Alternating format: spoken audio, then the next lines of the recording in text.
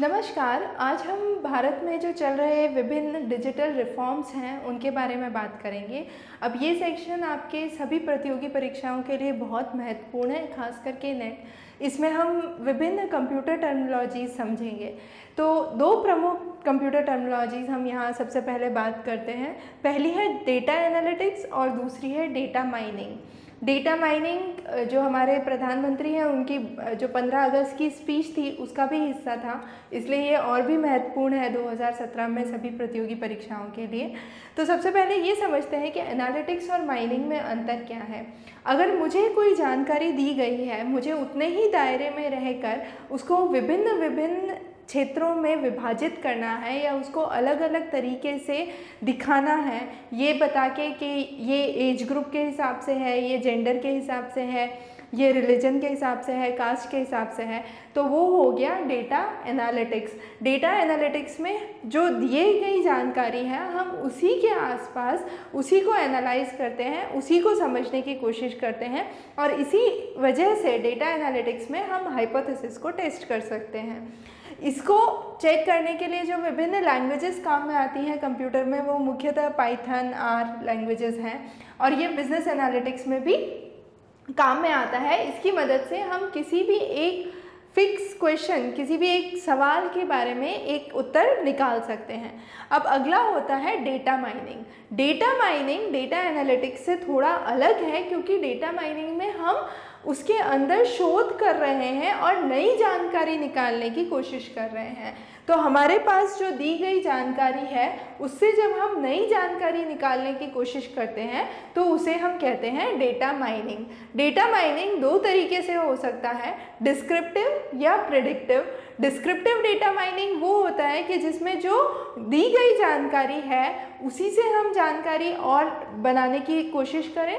जबकि प्रिडिक्टिव में ये होता है कि हम फोरकास्ट करें, कि जैसे हमने कहा कि भारत में डीमोनेटाइजेशन हो गया, विमुद्रीकरण हो गया तो इसका आने वाले 10 साल बाद क्या असर होगा? तो वो हो गया प्रिडिक्टिव जिसमें हम फोरकास्ट करते हैं हम आगे क्या होगा, उसकी एनालिसिस करने की कोशिश करते हैं। तो डेटा माइनिंग की मदद से हम नए ट्रेंड्स का पता लगा सकते हैं, पर इसमें हम किसी भी एक दिए हुए क्वेश्चन का एक फिक्स आंसर निकाल के नहीं दे सकते हैं और हाइपोथेसिस टेस्ट नहीं कर सकते हैं, जैसा कि हम डेटा एनालिटिक्स में करते हैं। डेटा माइनिंग करने के लिए कुछ चीज़ें हैं जो काम में आती हैं, जैसे आर्टिफिशियल इंटेलिजेंस पैटर्न डिस्ट्रीब्यूशन या स्टैटिस्टिक सांख्यिकी, जिसको हम बोलते हैं। तो ये कुछ चीज़ें हुई जो डेटा माइनिंग और डेटा एनालिटिक्स के बारे में हैं। अब हम इस चीज़ के बारे में बात करते हैं कि जो हम बोलते हैं कि पुराने ज़माने में या जो कन्वेंशनल सिस्टम था, वो क्या था? उसको हम बोलते थे बार्टर सिस्टम बार्टर सिस्टम में क्या होता था? कोई मुद्रा नहीं थी, किसी भी तरह की कोई मुद्रा एग्जिस्ट नहीं करती थी। मेरे पास सामान ए है, मैं वो सामान ए दे के सामान बी लूँगी और ये दोनों चीज़ें आपस में ए और बी एक्सचेंज करेंगे। उसको हम कहते थे बार्टर सिस्टम या एक्सचेंज सिस्टम धीरे धीरे मुद्रा का प्रचलन आया तो पेमेंट करेंसीज आई। पेमेंट में करेंसी के फॉर्म में होना, होने लगा, जिसमें आपके सिक्के या नोट आने लगे। फिर धीरे धीरे आगे चल के क्या हुआ? और डेवलपमेंट हुआ? हमने बोला क्रेडिट कार्ड या डेबिट कार्ड आने लग गए। इसी तरीके से प्रीपेड इंस्ट्रूमेंट्स आने लग गए। फिर धीरे धीरे हम इससे भी आगे बढ़ बढ़ गए। हमने बोला नेट बैंकिंग होने लग गई कि एक जन का बैंक एक्स अकाउंट है, दूसरे जन का अकाउंट वाई बैंक में है। ये बैंक से बैंक ट्रांसफ़र हो जाएगा। आदमी को ना पैसा जमा कराने की ज़रूरत है या ना, ना निकालने की ज़रूरत है। इसके बाद में जो हम बात करते हैं तो ये सारा जो था जो नेट बैंकिंग से हम कहते हैं ये हमारा डिजिटल रेवोल्यूशन था जो पेमेंट सिस्टम्स में आया। और इसके बाद जो हम बात करते हैं वो विभिन्न प्रीपेड इंस्ट्रूमेंट्स की बात करते हैं जिसके बारे में अभी हम और डिटेल में समझेंगे। तो ये प्रीपेड प्रीपेड इंस्ट्रूमेंट्स इसमें आपका मोबाइल वॉलेट हो गया आपके सेमी क्लोज क्लोज्ड और ओपन वॉलेट सिस्टम्स हो गए, जिसके बारे में अभी हम समझते हैं। तो सबसे पहली बात तो ये है कि प्रीपेड इंस्ट्रूमेंट्स क्या होते हैं? प्रीपेड इंस्ट्रूमेंट्स आपके डेबिट कार्ड या क्रेडिट कार्ड से थोड़े भिन्न होते हैं, क्योंकि इसमें उस कार्ड में उतना फिक्स अमाउंट है। जैसे मैंने बोला कि मेरे पास एक हज़ार रुपये का प्रीपेड इंस्ट्रूमेंट है अमेज़ॉन का तो इसका मतलब वो एक हज़ार रुपये मेरे उस कार्ड में है और मैं वो एक हज़ार रुपये उस कार्ड से खर्च कर सकती हूँ, उससे ज़्यादा खर्च नहीं कर सकती। तो वो उस कार्ड की लिमिट हो गई और उस तरह की चीज़ों को हम बोलते हैं प्रीपेड इंस्ट्रूमेंट्स अब ये किस किस तरीके से हो सकते हैं? या आपके किसी इंटरनेट के खाते में हो सकते हैं, या आपके किसी ऑनलाइन वॉलेट में हो सकते हैं मोबाइल अकाउंट्स में हो सकते हैं, या पेपर वाउचर की तरह हो सकते हैं। आरबीआई की गाइडलाइंस के हिसाब से प्रीपेड जो इंस्ट्रूमेंट है, उसका अमाउंट पचास हज़ार से ज़्यादा नहीं हो सकता है। और ये भी कंज्यूमर के लिए और मर्चेंट के लिए अलग अलग है। जो ख़रीदार है, उसके लिए बीस हज़ार रुपये प्रति माह तक हो सकता है और एक लाख रुपये तक अगर वो करना चाहता है तो उसको बैंक में जाके के करवाना पड़ेगा। मतलब नो योर कस्टमर मर्चेंट के लिए पचास हज़ार हर महीने की लिमिट है और सेल्फ डिक्लेरेशन करना पड़ता है और एक लाख से ज़्यादा अगर है तो के करवाना पड़ेगा। अब जैसा कि हमने बोला, सबसे पहले फ़िज़िकल कैश पेमेंट होता था नोट की अदला बदली होती थी। अब हम उससे आगे बढ़ के हमने बोला डेबिट कार्ड क्रेडिट कार्ड आएँगे। फिर इंटरनेट बैंकिंग हुई, फिर आपके प्रीपेड कार्ड आए, जिसको हम स्मार्ट कार्ड या मोबाइल प्रीपेड कार्ड्स बोलते हैं। अब जो हमारा नया कॉन्सेप्ट है, वो है ई वॉलेट या ई करेंसी का। और फाइनली जिसकी तरफ़ हम जा रहे हैं, वो है वर्चुअल करेंसी जिसको हम बिटकॉइंस बोलते हैं। और बिटकॉइंस पे हमने एक अलग क्लास ली है, जो आपके आने वाले एग्ज़ाम्स के लिए बहुत इंपॉर्टेंट है, क्योंकि ये एक नया कॉन्सेप्ट है पेमेंट सिस्टम्स में, इसलिए ये और भी ज़्यादा इंपॉर्टेंट है। अब जब हम प्रीपेड इंस्ट्रूमेंट्स की बात करते हैं तो ये पाँच तरीके के हो सकते हैं। सबसे पहला है closed payment system closed payment system मतलब जिस व्यक्ति से या जिस इंस्टीट्यूशन से मुझे वो कार्ड मिला है मैं वो पैसा सिर्फ़ उसी इंस्टीट्यूशन में जाके खर्च कर सकती हूँ। जैसे मेरे पास अगर अमेज़ॉन वॉलेट है तो मैं वो पैसा सिर्फ़ अमेज़ॉन पे खर्च कर सकती हूँ। तो वो हो गया क्लोज सिस्टम अगला है semi close system semi close system का मतलब ये है कि किसी एक इंस्टीट्यूट से मुझे कार्ड मिला है, किसी एक ऑर्गेनाइजेशन से मुझे कार्ड मिला है, पर उसका कुछ कुछ ऑर्गेनाइजेशन से कॉन्ट्रैक्ट है और जिन जिन से कॉन्ट्रैक्ट है, मैं उन सब जगह वो कार्ड खर्च कर सकती हूँ या उस वॉलेट से खर्चा कर सकती हूँ, पर मैं उससे कोई कैश विड्रॉल नहीं करवा सकती हूँ। तो जैसे आपका पेयू हुआ मोबीविक हुआ पेटीएम हुआ, ये सब क्या हुआ? ये सब सेमी क्लोज सिस्टम है, क्योंकि इनका कुछ कुछ कुछ कुछ मर्चेंट्स के साथ टाई अप है।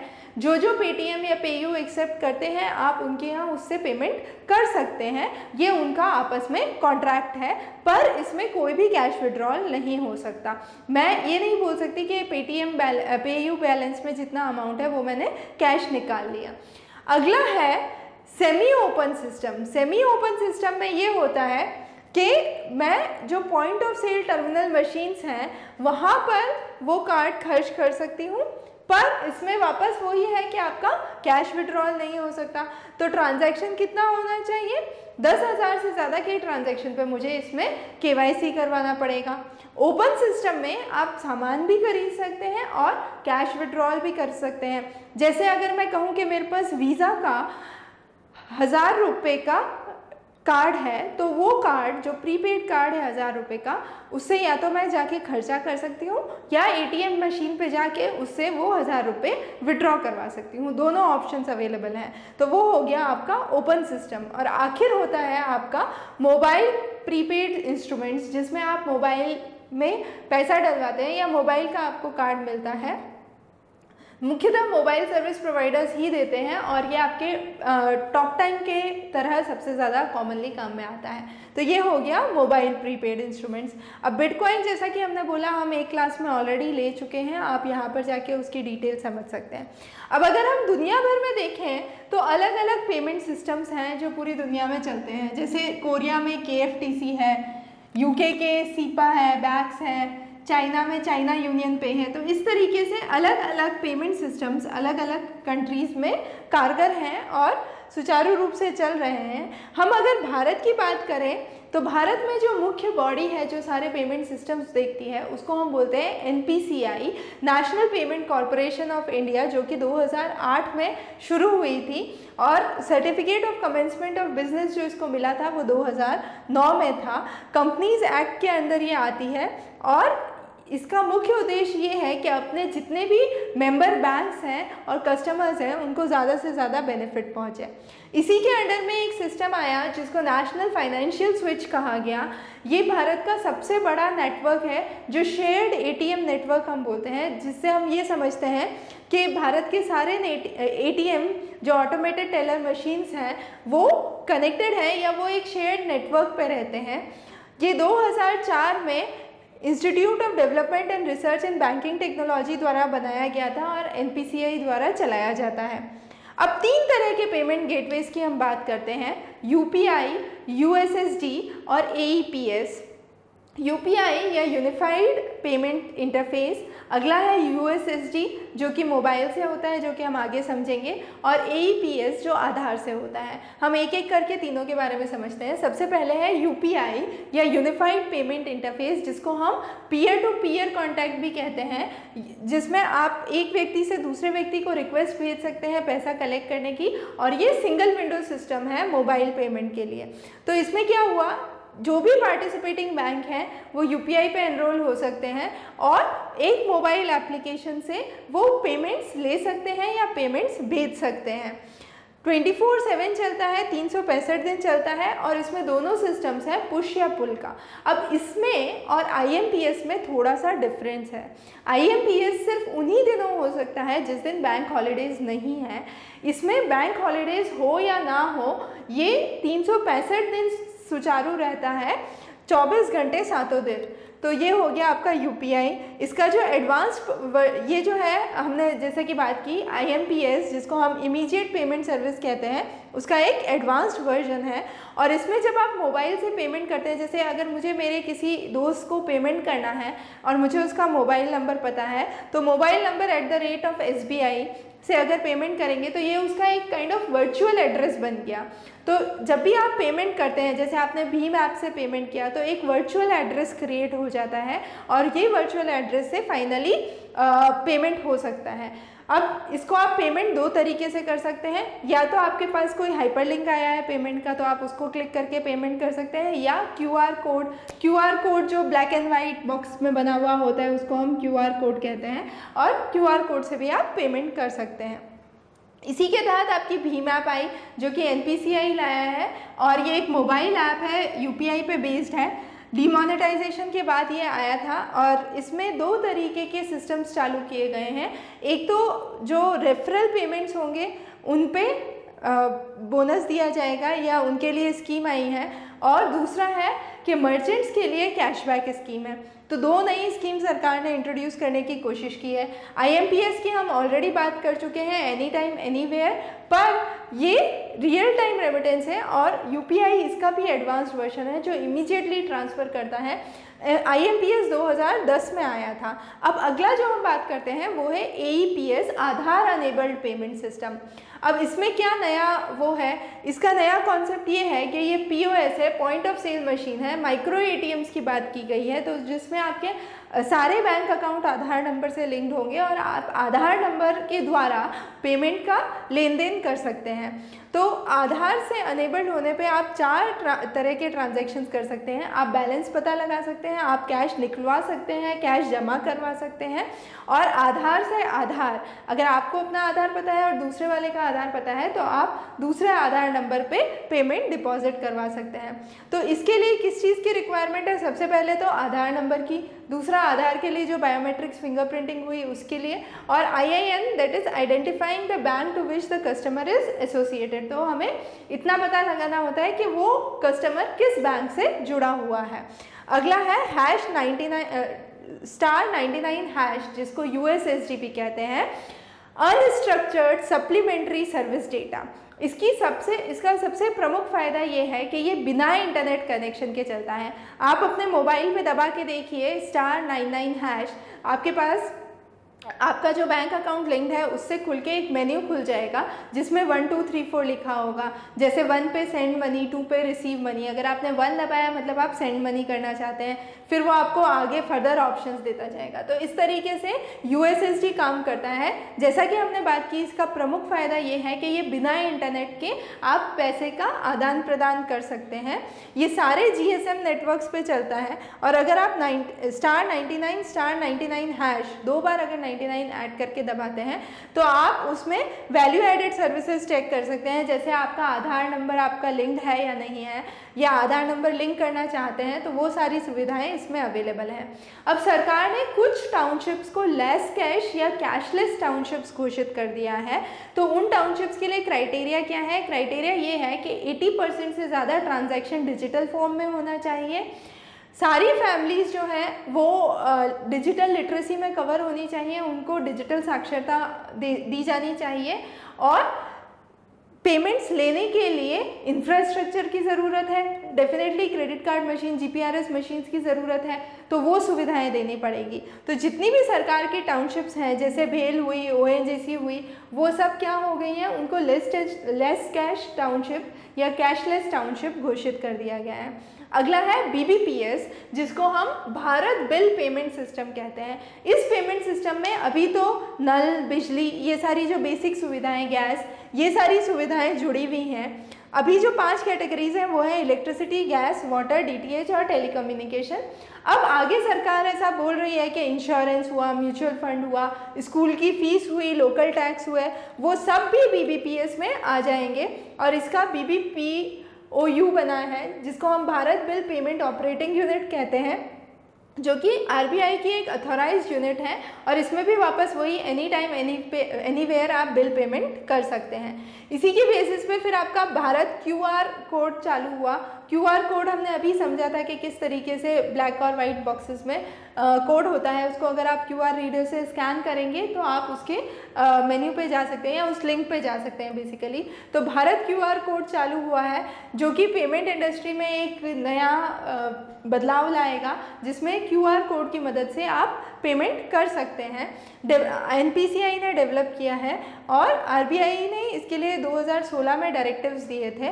तो इसमें मुख्य आइडिया हमारा ये है कि हम ज़्यादा से ज़्यादा इनोवेशन कर सकें और ज़्यादा से ज़्यादा सिक्योरिटी बनाए रखें। इसी तरह से आपका रुपए आया था। रुपए 2012 में लॉन्च हुआ था एनपीसीआई द्वारा। ये वापस बहुत एक तरह का क्रेडिट कार्ड डेबिट कार्ड है जो कि बहुत पॉपुलर हुआ। इसको domestic open loop multilateral system of payment माना गया है। और इसकी सबसे खास बात यह है कि इस प्रोडक्ट में बहुत ज़्यादा फ्लेक्सिबिलिटी है। अलग अलग प्लेटफॉर्म्स पे काम कर सकता है ए पे काम कर सकता है।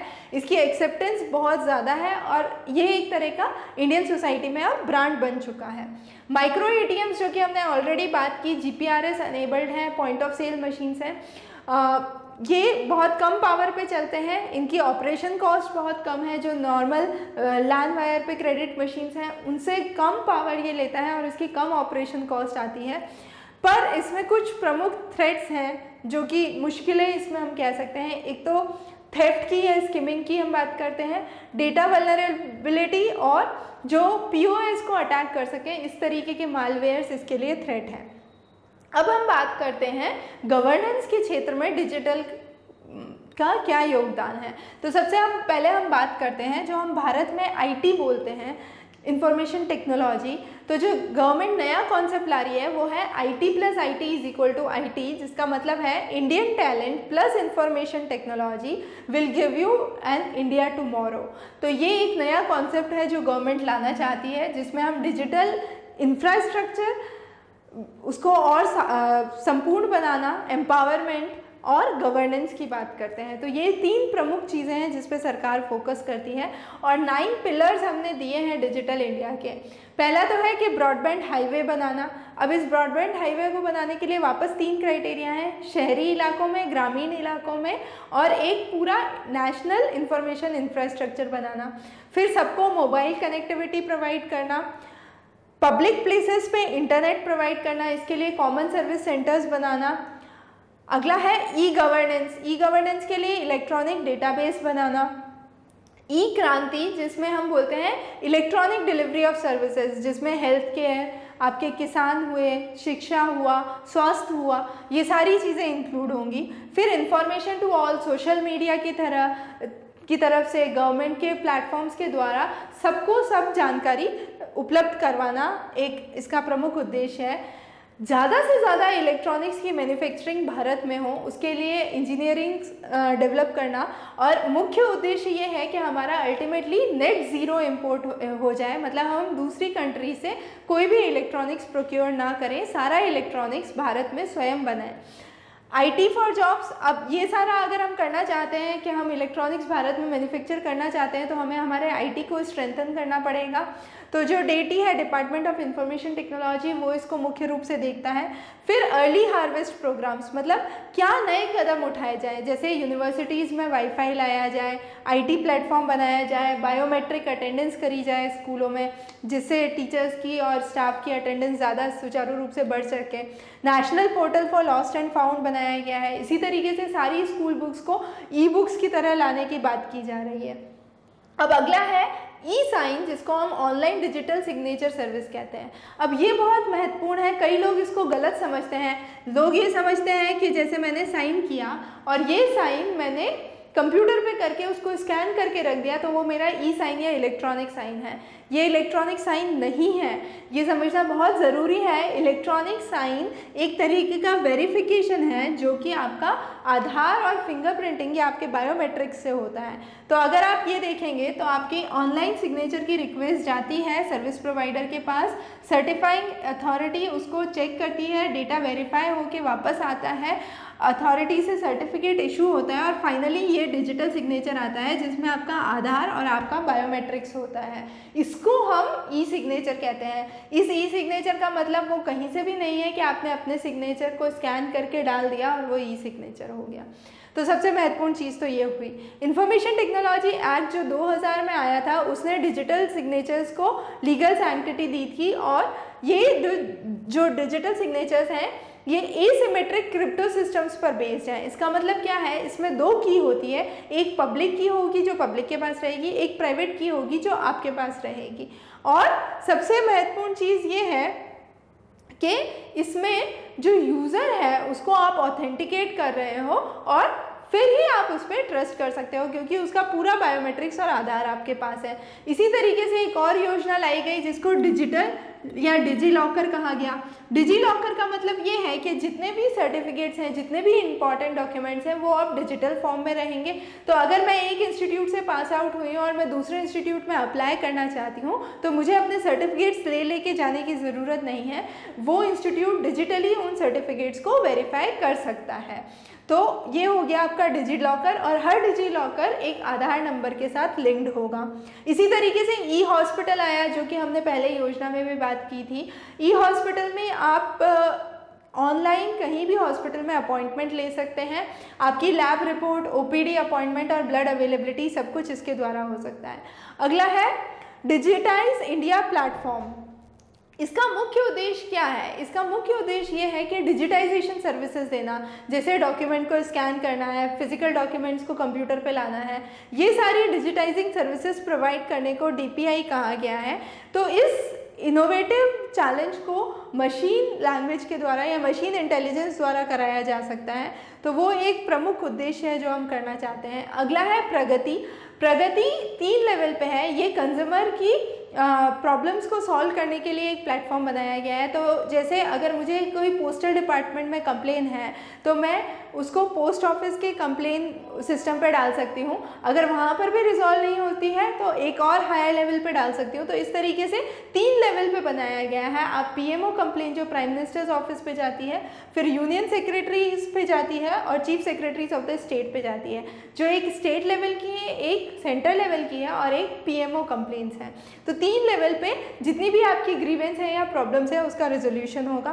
अब एक बहुत महत्वपूर्ण कदम है नेशनल क्लाउड जिसको मेघराज कहा गया है। ये क्लाउड कंप्यूटिंग में एक बहुत बड़ा एफर्ट है भारतीय सरकार का।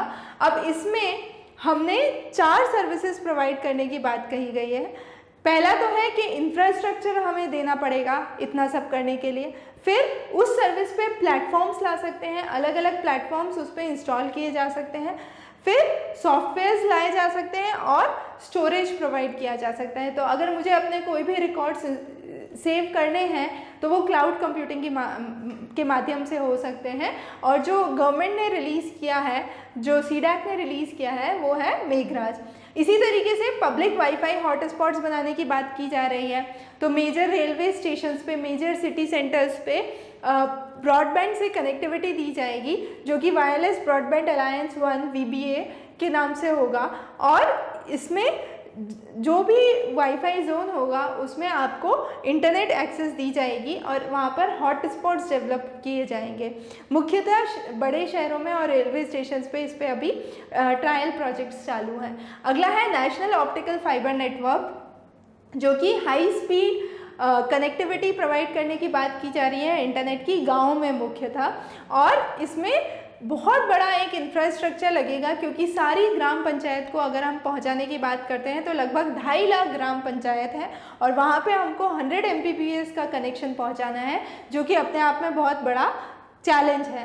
इसी तरीके से फिर भारत नेट आया। भारत नेट ये कहता है कि एटलीस्ट दो एम से 20 एम का कनेक्शन तो सारे घरों में जाना चाहिए और ये USOF के द्वारा पूर्ण किया जाएगा, जिसको हम यूनिवर्सल सर्विस ऑब्लिगेशन फंड कहते हैं। इसको तीन फेजेज में लाया गया है। 2017 तक हम कहते हैं कि हमने एक लाख ग्राम पंचायत को कनेक्ट कर दिया है। हमारा उद्देश्य है कि दिसंबर 2018 तक हम ढाई लाख ग्राम पंचायत को कनेक्ट करें और उसके बाद हम फ्यूचर नेटवर्किंग करें। मतलब हम फाइबर्स जो हैं ब्लॉक से लेके डिस्ट्रिक्ट पे कनेक्ट करें और इसको एक रिंग टाइप टोपोलॉजी से कनेक्ट करें 2018 से 2023 के बीच में। कंप्यूटर मालवेयर अभी में बहुत ही इंपॉर्टेंट हो गया है। जेफ कॉपी है आपका रैनसम वेयर है। तो ये सब आजकल बहुत न्यूज़ में है। तो इसके चलते कंप्यूटर मालवेयर पे हमने एक पूरी अलग क्लास ली है, जिसमें कंप्यूटर मालवेयर की टर्मोलॉजीज डिस्कस की गई हैं। तो वो आप यहाँ पर देख सकते हैं। अब सबसे महत्वपूर्ण है सी जो कि हैदराबाद में है, उसने विभिन्न सॉल्यूशंस निकाले हैं सिक्योरिटी को लेके। तो वो क्या क्या है, जिसमें ब्राउज़र जी गार्ड है, जो आपके ब्राउज़र पे एड ऑन की तरह इंस्टॉल हो जाता है, और कोई भी मलेशियस अटैक होता है तो उसको चेक करने में मदद करता है। इसी तरीके से ऐप सामविच जिसको हम एप्लीकेशन वाइट लिस्टिंग सॉल्यूशन कहते हैं। अब वाइट लिस्टिंग और ब्लैक लिस्टिंग में थोड़ा सा अंतर है। ब्लैक लिस्टिंग में हम कहते हैं कि ये ये साइट सेफ़ नहीं है, इनको मत दिखाओ। वाइट लिस्टिंग में हम कहते हैं कि ये सारी साइट सेफ़ है इनको दिखाओ। तो वाइट लिस्टिंग के द्वारा आप एप्लीकेशंस एग्जीक्यूट कर सकते हो अपने सिस्टम को उस सिस्टम पे उसको ऐप सामवित कहा गया है। फिर है आपका यू एस बी प्रतिरोध। यू एस बी जो आपके यू ड्राइव पेन ड्राइव होती है उस पोर्टेबल ड्राइव पे Uh, कोई भी अनऑथराइज आदमी उसको यूज़ नहीं कर सकता है और उसका कंट्रोल कुछ लिमिटेड लोगों को ही दिया जाएगा। तो वो हो गया यूएसबी प्रतिरोध। अगला है एप्लीकेशन एंड डिवाइस कंट्रोल जिसमें एंटी मालवेयर सिक्योरिटी सॉल्यूशंस दिए जाएँगे, जो भारत में ही बने हुए हैं मेक इन इंडिया प्रोजेक्ट्स के तहत। और एम कवच जो आपके मोबाइल को एक कॉम्प्रिहेंसिव सिक्योरिटी देगा जो आपके मोबाइल पे एक कवच की तरह रहेगा और उसके द्वारा कोई भी आपके पर्सनल इन्फॉर्मेशन को मोबाइल से चुरा नहीं सकता। तो ये सारे एफर्ट्स सी द्वारा किए गए हैं। अब अगला इंपॉर्टेंट है सिक्योर मेल सिक्योर मेल क्या होता है? सिक्योर मेल ये है कि आप जो मेल किसी को भेज रहे हैं, वो सिर्फ़ उसी दो लोगों के बीच में शेयर होगी जानकारी। तो इसमें दो प्रमुख चीज़ें हैं ऑथेंटिकेशन और इनक्रिप्शन ऑथेंटिकेशन और इनक्रिप्शन कैसे होता है वो समझना ज़रूरी है। तो इसके लिए तीन प्रमुख मेथड्स हैं। एसएमटीपी जिसको हम सिक्योर मेल ट्रांसफ़र प्रोटोकॉल कहते हैं टीएलएस ट्रांसपोर्ट लेयर सिक्योरिटी और एसएसएल सिक्योर सॉकेट्स लेयर ये कई बार इन पे सीधे इनकी फुल फॉर्म्स पे क्वेश्चन आते हैं, इनकी एब्रीवेशंस पूछी जाती हैं। तो इस तरीके से ये हमने कुछ प्रमुख चीज़ें कवर की हैं जो डिजिटल रिफॉर्म्स भारत में हुए हैं। जो कंप्यूटर टर्मिनोलॉजीज़ आपके लिए महत्वपूर्ण है, हम आगे और भी कंप्यूटर से रिलेटेड प्रमुख डेवलपमेंट्स देखेंगे। एक और जो इंपॉर्टेंट क्लास जो इसमें कंप्यूटर्स के लिए कवर की गई थी, वो ये थी जो डेसिमल टू बाइनरी और बाइनरी टू डेसिमल कन्वर्जन था। तो डेफिनेटली आप इस चैनल पर बने रहिए, हम आगे से आगे और भी जो भी कंटेम्प्रेरी डेवलपमेंट्स हो रहे हैं, वो और शेयर करेंगे। बहुत बहुत धन्यवाद।